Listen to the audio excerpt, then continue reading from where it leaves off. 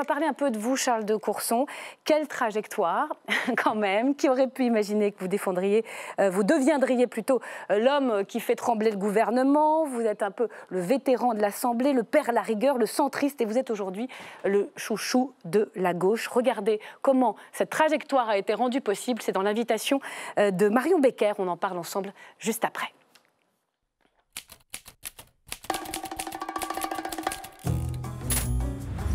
Si on vous invite, Charles de Courson, c'est parce que vous vivez votre heure de gloire.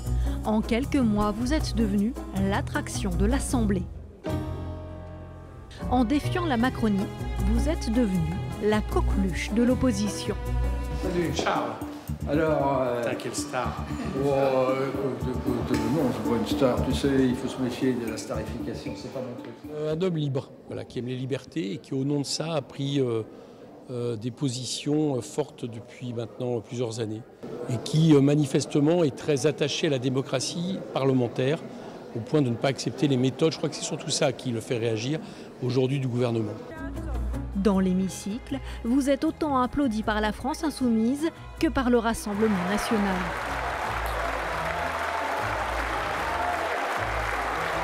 Quelle ironie du sort pour vous, le député aristocrate, descendant d'une famille très engagée politiquement. Car Charles de Courson, ou plus précisément Charles Amédée Dubuisson de Courson, vous êtes député de la Marne depuis 1993. 30 ans, 1 an et 27 jours très précisément. Tour à tour UDF, UDI, non inscrit.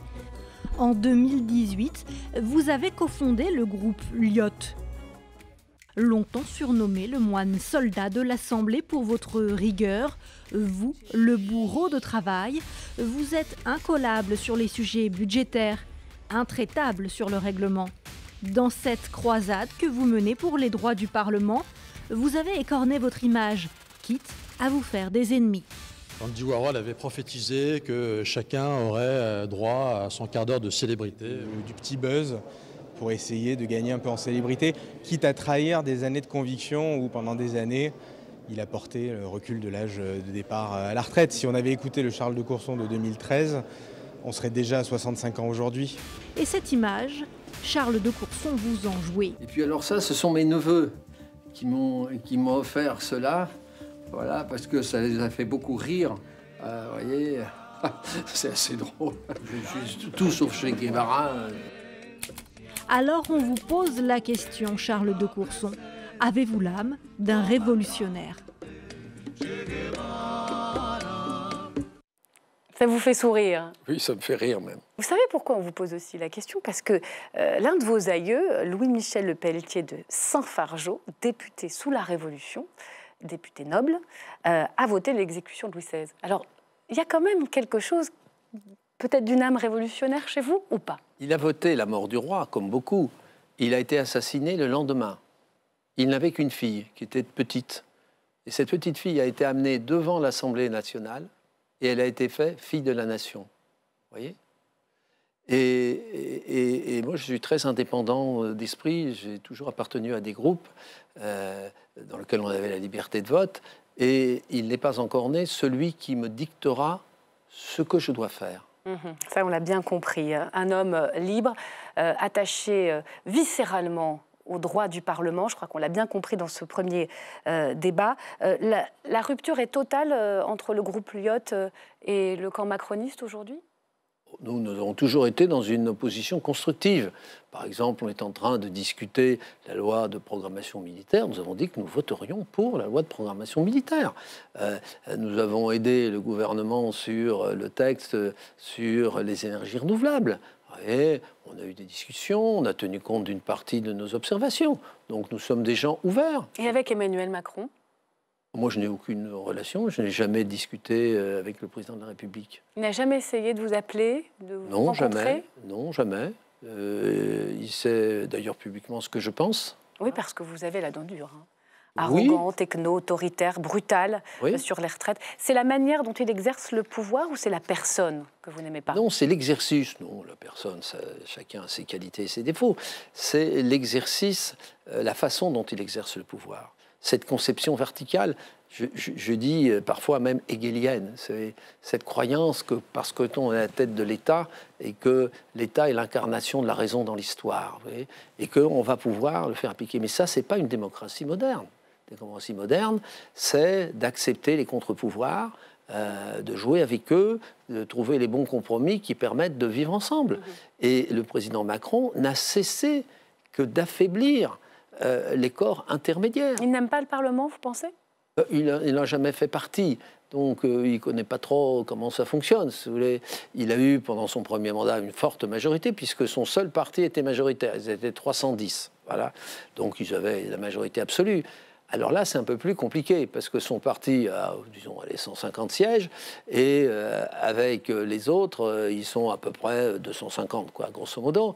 C'est pas avec 250 euh, que vous pouvez imposer votre volonté. Donc, il faut discuter. on sent bien que voilà, vous alertez, vous dites attention, cette crise des retraites va laisser des traces, la démocratie et le Parlement vont vont peut-être être abîmés durablement. Euh, beaucoup estiment aussi dans cette crise que ce sont aussi les institutions qui sont à bout de souffle et que cette crise le, révèle, notamment la Ve République. Vous êtes d'accord avec ça? Si vous voulez, que c'est vrai que nos institutions, au fond, n'ont pas choisi entre un régime présidentiel et un régime parlementaire. En fait, c'est un régime semi-présidentiel qui est présidentiel quand le président a une majorité absolue, et qui est plutôt parlementaire quand il n'a pas la majorité absolue. Donc le problème, c'est ce qu'il faut rester dans cette situation. Euh, par deux fois, on a eu euh, une période de cohabitation qui s'est plus ou moins bien passée, si vous voulez, et là, on a une situation tout à fait originale. Un président réélu, euh, pas bien d'ailleurs, hein, qui ne peut pas se représenter. Et sa majorité présidentielle sortante qui est mis en minorité. Il a fait 25% des voix. L'ensemble des candidats aux législatives ont fait 25% des 47% qui sont venus voter. Donc, dans une démocratie équilibrée, comment voulez-vous gouverner? Et euh, ça plaide pourquoi alors? Pour un changement ah ben d'exercice du pouvoir ou carrément de république? Non, je, je crois qu'il faudrait, euh, par exemple, faire une dose de proportionnel. Voyez? On ne peut pas accepter que pendant des années, des courants significatifs n'aient pratiquement aucun député. C'est malsain pour la Le Rassemblement national n'a pas eu besoin de la proportionnelle, finalement. Oui, mais il a fallu qu'ils atteignent 25% des voix mhm. pour avoir des députés. Alors on entendait Éric Coquerel tout à l'heure. Mais, même chose pour euh, les Verts. je, ne suis pas euh, vert, mais je trouve qu'il n'est pas normal qu'un courant euh, tel que les Verts doive l'existence d'un groupe parlementaire à des alliances avec d'autres alors qu'à la proportionnelle, bon, bah, s'ils font 10%, euh, qu'ils aient un certain nombre de députés, c'est tout à fait normal.